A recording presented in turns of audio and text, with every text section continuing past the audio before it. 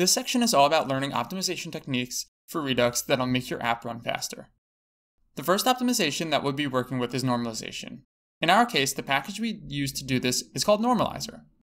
Normalization is a term seen throughout computer science. The most common reference to it is database normalization. Database normalization is a design technique which organizes tables in a manner that reduces redundancy and dependency on data. The way normalization is used in JavaScript is to handle nested JSON as returned from an API. The way Normalizr works is you define a schema, or what the JSON will look like, and the library returns an object of entities keyed by their ID, as well as an array of IDs of those objects. This will become way more clear as we walk through the examples though. The first thing you're going to do is yarn add normalizr. All of our normalization magic takes place in only five lines. The data actually doesn't have any nested objects, so when we normalize it, it's fairly straightforward. The server sends down an array of objects.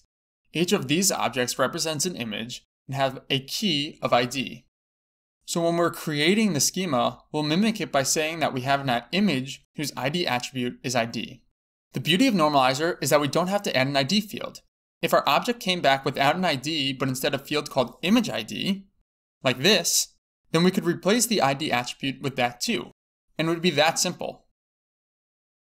There's also a shorthand since Normalizr defaults to looking for an ID that you could see on line 62. The actual data that is returned from the Pixabay API is an array though, so we'll use the Normalizr shorthand and say that our image list schema is an array of our image schemas.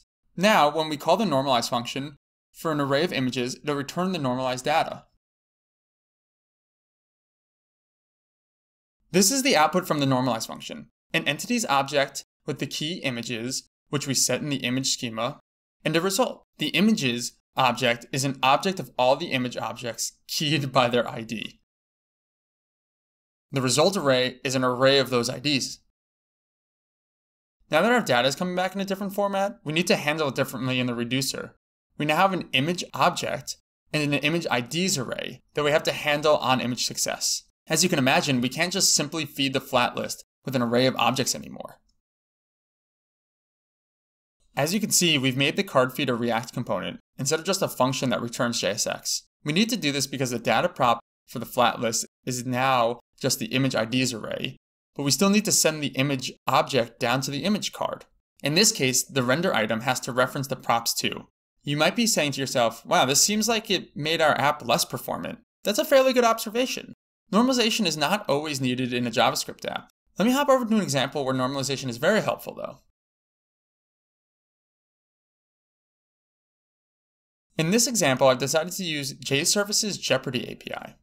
As you can see in the question object, there is an ID. There's also a category object with an ID too.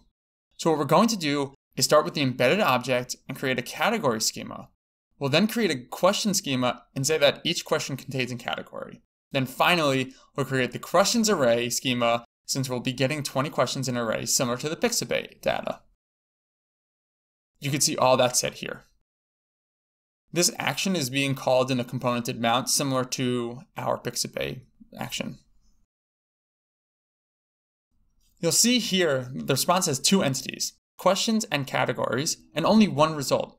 The one result is an array of the question IDs. So where the category IDs being used? As you can see here, inside the question object, the category field was an object was replaced with a single ID.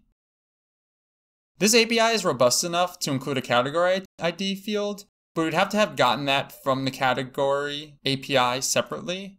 So the way that we've done it is just hit one endpoint and get back all the information. The last thing to show is the reducer. I've written it another way here that doesn't use the spread operator, but instead uses the object method assign. Both work well, it's just a matter of preference.